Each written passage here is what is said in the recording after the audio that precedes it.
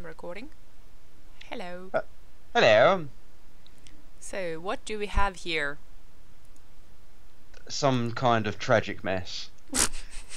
uh, forum leakage. We're back with forum leakage again. Yes, and this would be the glorious post 10 that we have now reached. Milestone, yo. Whee! and as as um as fate would have it, uh, we yeah we are kind of sitting on a pile of a mess because some of the early posts in this thread uh, were kind of all over the place. We were still like on one hand they were complex enough to give us more work right now or like they, they weren't streamlined enough to just uh, copy them willy-nilly and at the same time uh, they contain a lot of information that is no longer valid. Mm-hmm. and also we have pushed some of the mess into this post from the previous one which we cut off to end on a sort of uh, good exit note. And now we have a bunch of characters that we want to bring in. We have a bunch of a uh, bunch of questions. We have we have notes Mm-hmm. So- Glorious notes. yeah so so this is this is very far from the initial uh, oh just uh, just we just fix typos and and then post them as is right now this is some uh, remodeling proper remodeling We've gone down the rabbit hole a little bit here. yeah. Uh, I can say that it's gonna get easier after a while again because point one, uh, we reached certain common understandings about how shit works, Mhm. and also some some of the latter posts are better writ- written. But Yeah. yeah. this is this is the messy zone. We're up for a challenge here.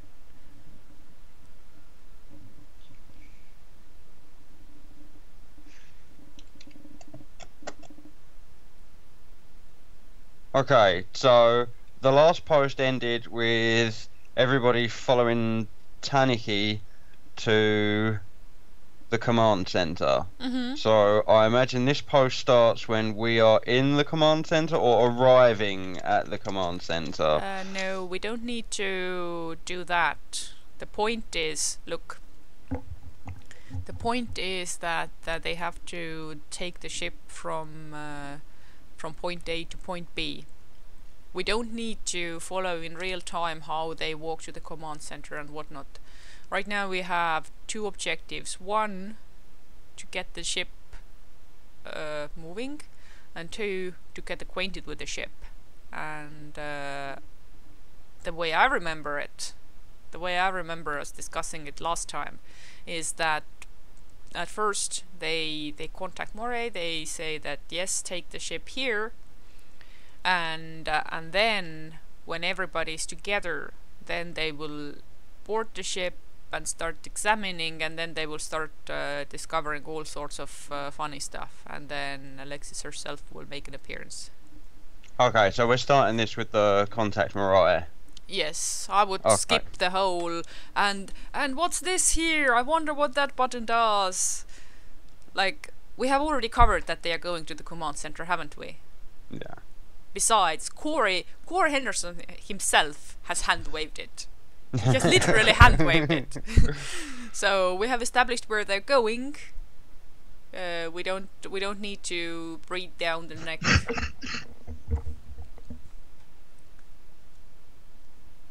Excuse me. Uh, what we could start on, however, would be like, uh, well, this looks familiar enough. In fact, let me let me begin with just that. Okay.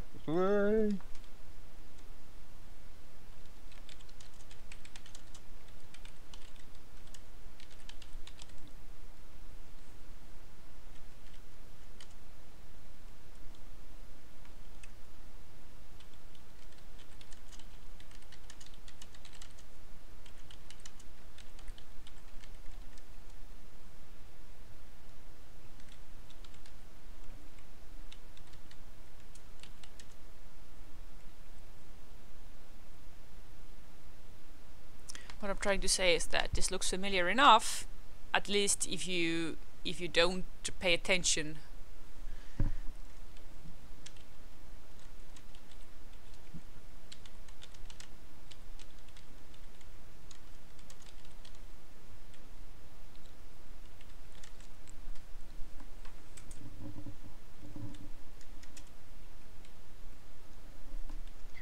It sounds like something Nux would say. Mm-hmm.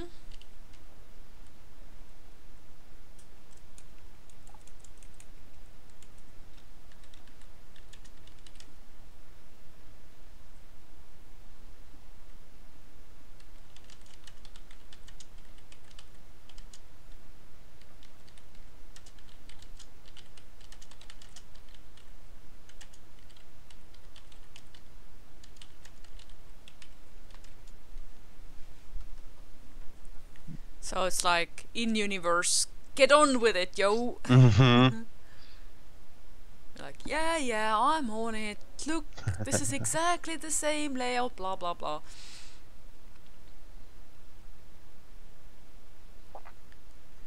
Uh, then again, why would they need the ship to contact Moray? Like, didn't they have some means to, to remotely communicate already? Corey can call her through his data thingy, data pad thing that he's got. Yeah.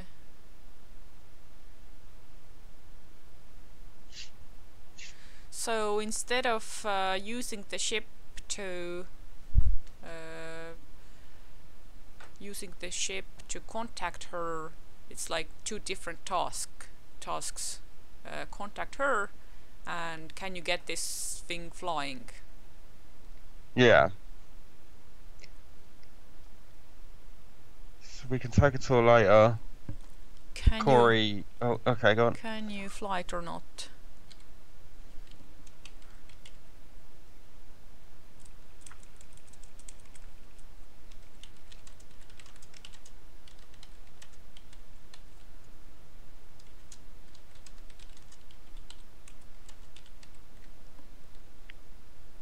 Can you? It's Kanye's brother. yeah.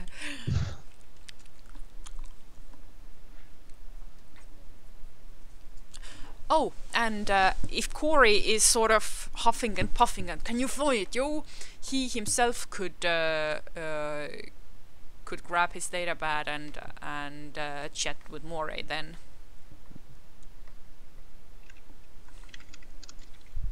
Uh, And pugging. mhm.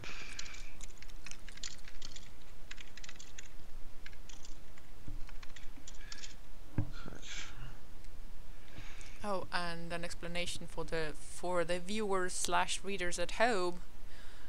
We use datapad like an umbrella term for any sort of portable communication device slash com- uh, pocket computer slash uh, uh, portable terminal. So it's like think mobile phone or think Mhm. tablet. Basically, it's like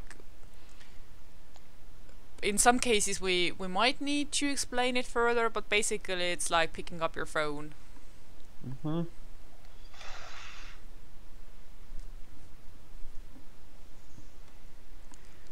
And in this case, we we could assume that they have established a link between their devices or between whatever because they they uh, they have already traveled together on the other ship. So Mhm. Okay, I don't need to write that down.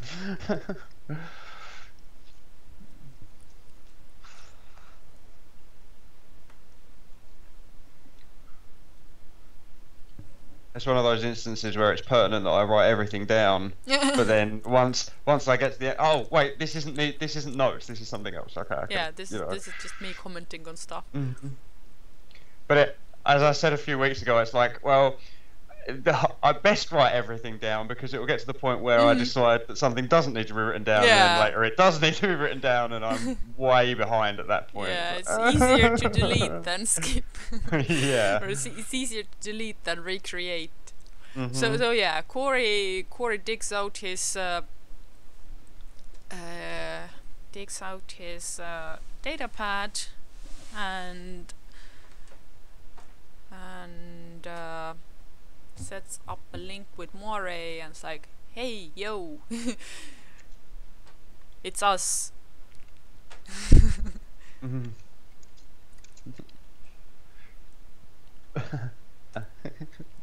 I know.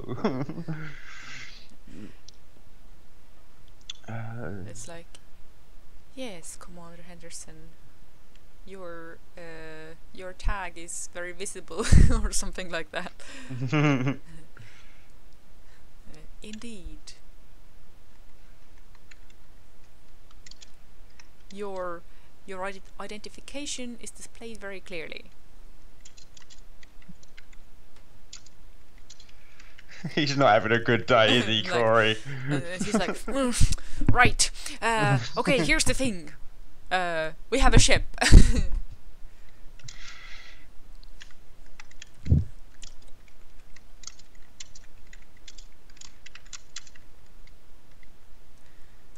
And oh, oh, and Moray, Moray could be like, yes, I am aware of that too. I am currently guarding it.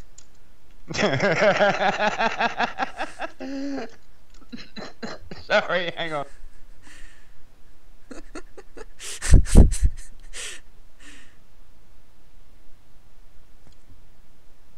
That's amazing. Oh yes. And this this should throw Corey off a little bit more, even like. Uh, no, I mean we have a new ship.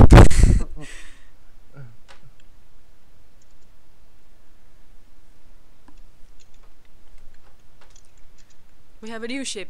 It's a long story.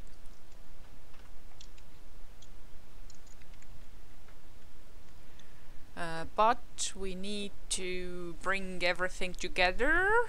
That's not his actual words. Yeah, okay.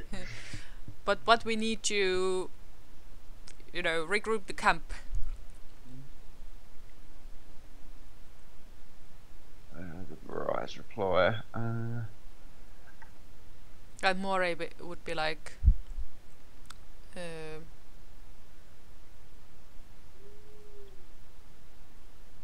the gist of it is why can't you bring your new ship why can't you fly your new ship over here then? But I'm I'm trying to figure out her voice here.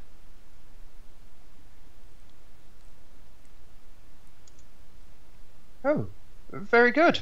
Uh, would it would it not be the easiest to bring the new vessel over to the landing site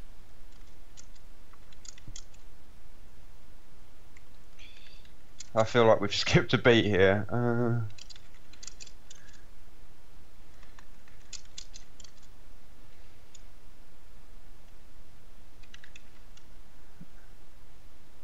Yeah, so it's like Corey gathers himself and says, uh, "Right, but we need to uh, we need to arrange."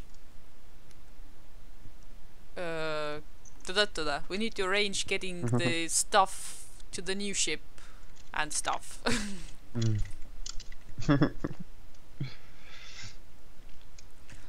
and instead of oh very good, uh, say let's say I see. Oh, I see, or just I see. Just I see. Okay. W uh, would it not? Uh, no, that's that's not at all what I said. I had I had uh, a complex in character thing there. Let me think what I what I can remember.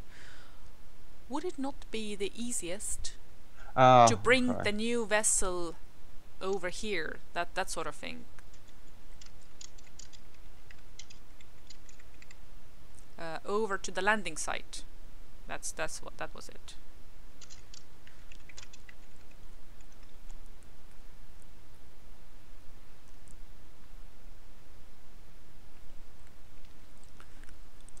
and Corey should have some sort of inappropriate reaction like oh we we can't do something like well we couldn't do that and somebody's like why not oh right sit tight mm -hmm. Uh, I don't know who this person is. Taniki probably. Yeah. Maybe she has uh, in the background. Maybe she has already gotten to know some of the controls or poked at the panels. Something, something, something. And then Corey's like, "Oh, right. Uh, we'll be ri- right with you," or something like this. Yes. Oh, sit tight. Don't go anywhere.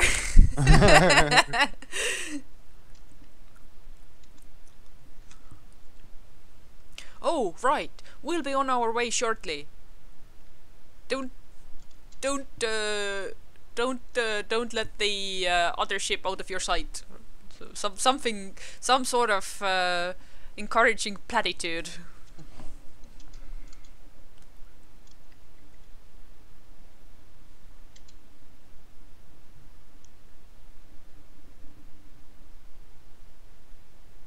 And then, okay, so ship takes off. Uh, not yet. Not s Okay. not so fast. so it will take off after they have poked, after they have sort of tried to get to know the controls. Or, oh, uh, alternatively, it could take off and then Core is like, oh, that's nice, what did you do? I was like, Taniki would be like, uh, I, I didn't do anything just yet.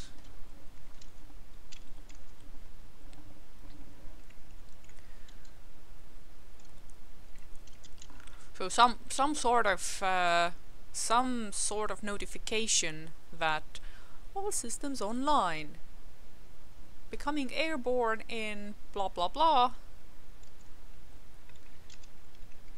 taking course somewhere somewhere. So the in insert helpful expository computer voice here.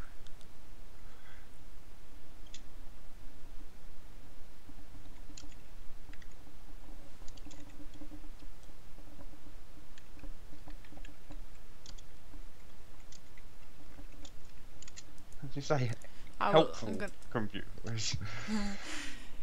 Yeah, so basically some some sort of notification that is easily filling the reader in that yes, things are working now. Yes, we are taking off, uh, gathering altitude, uh, flying over, and done. so it should be it should be over in like five minutes.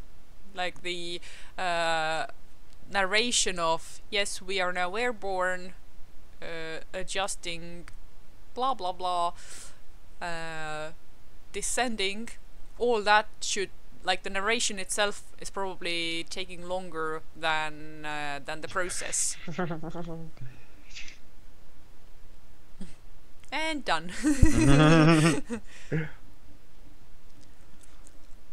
So yeah uh, i would even i would even do it so that Corey's reaction of oh Nito what did you do uh, will only occur after they have already landed in the new site. oh, yeah. Okay, let me just. Or like, oh Nito, how did you do that?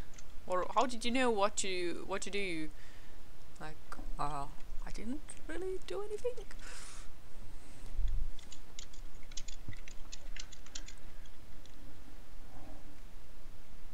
Oh.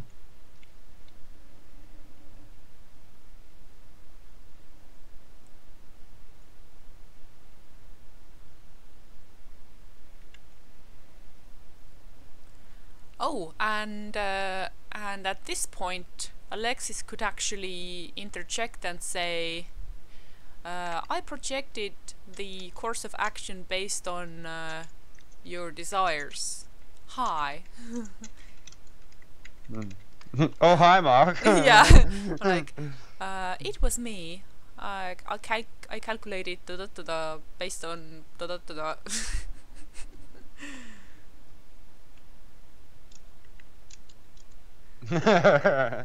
oh, actually, yeah, actually, uh, if we're going with the idea that Alexis pretends to be less powerful than than she is at the beginning, uh, then the course could easily be uh, extrapolated based on the communication between Corey and Moray.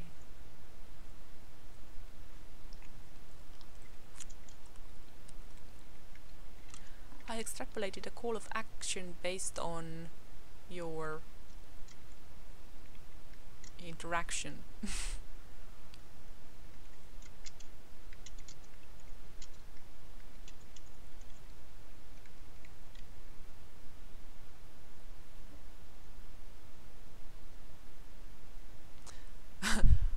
I also wiped your datapad of malware.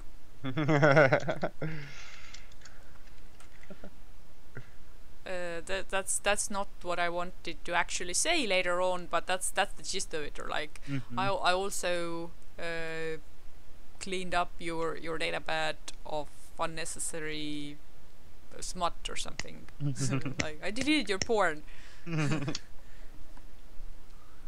Some something to get on the core skin, but nothing too overt.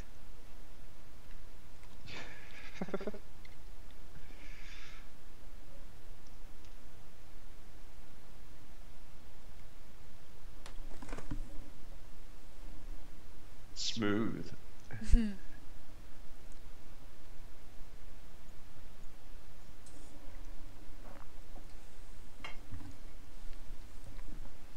Is at this point is Alexis just a voice in the command center, or has she appeared on the screen? Mm, uh, I would think that at first she's just displaying the voice.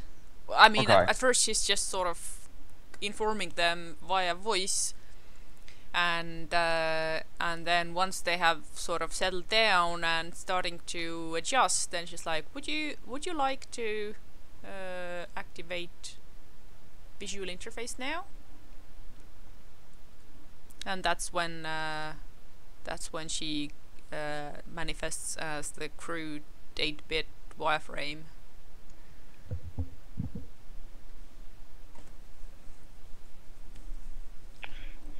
How did you know what? Oh, to do. Let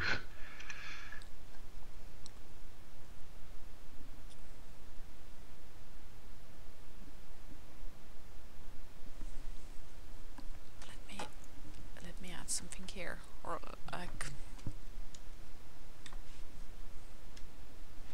What's Alexis's voice like? Uh, I imagine it to be sort of soft synthetic, um, but fu- futuristic, which is probably a bit sci-fi, um, tropey, I guess.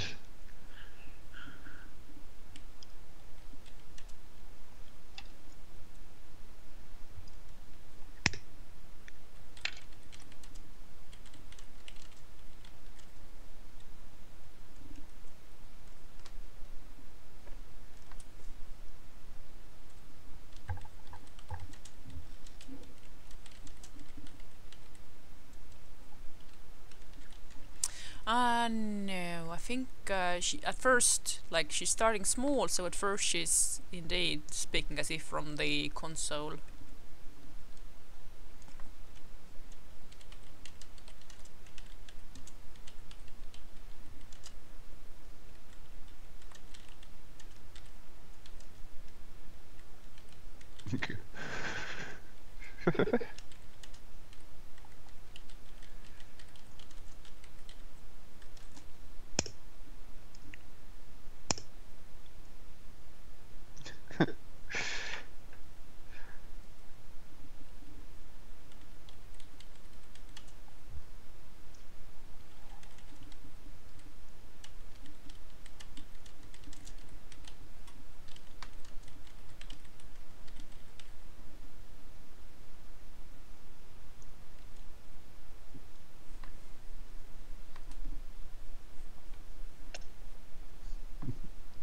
It was I, Doctor Boros.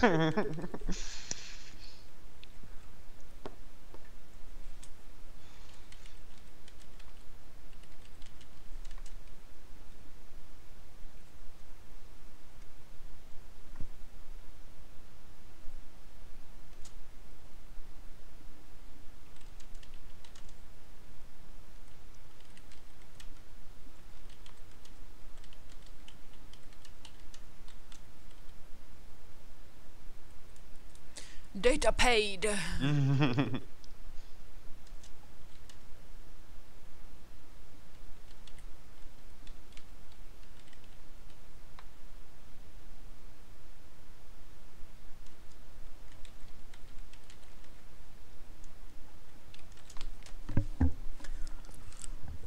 So between these two sentences there could be a bit but maybe I don't know, it depends. there needs to be a reaction from the crew now, right? Uh, this could be another instance where Corey tries to brush it off and sound very commandy and it's like, oh, very good. Everybody, uh, we are exiting. Let's gather your stuff and uh, da da da da. Go like, uh, excellent. Well done.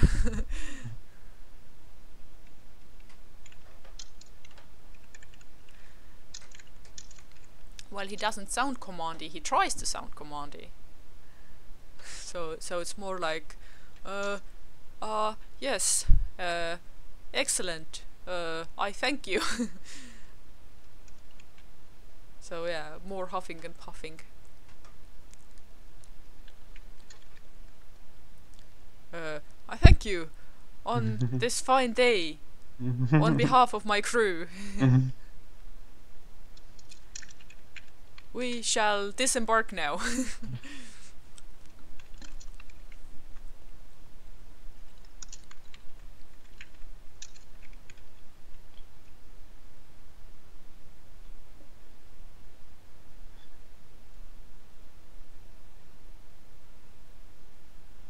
Commandy. Why is command? Oh, it's suggesting to me that I spell it commander, but for some reason it's capitalized the E. eh? Very strange.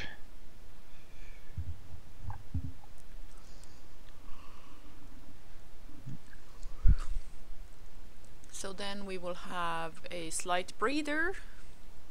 We might uh, we might even just have a uh, time gap between two scenes. And uh, and during the time gap, people are gathering their stuff and sorting out gear and and all that. maybe summarize that they uh, they got to the beach, they took their stuff, they carried the stuff in.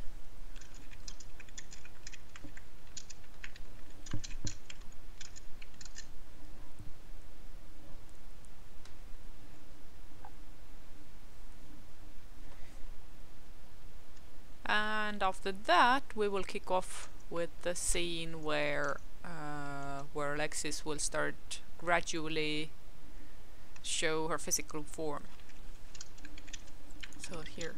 No, no, no, no! Don't write Oh, it. don't, okay, don't, okay. don't write it down. I am trying to summarize the video right now. So, what I'm trying to say is, we have sorted out the part, well, mostly sorted out the part where we uh, uh, come from the scrapyard to the beach.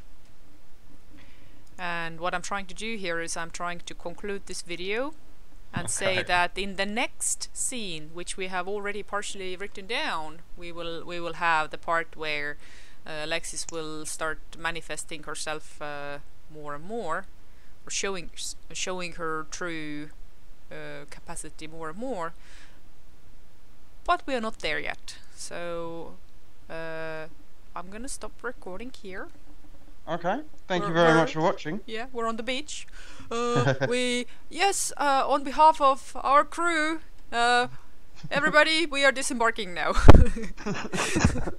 All right, I will stop here. Thank you very much. Bye.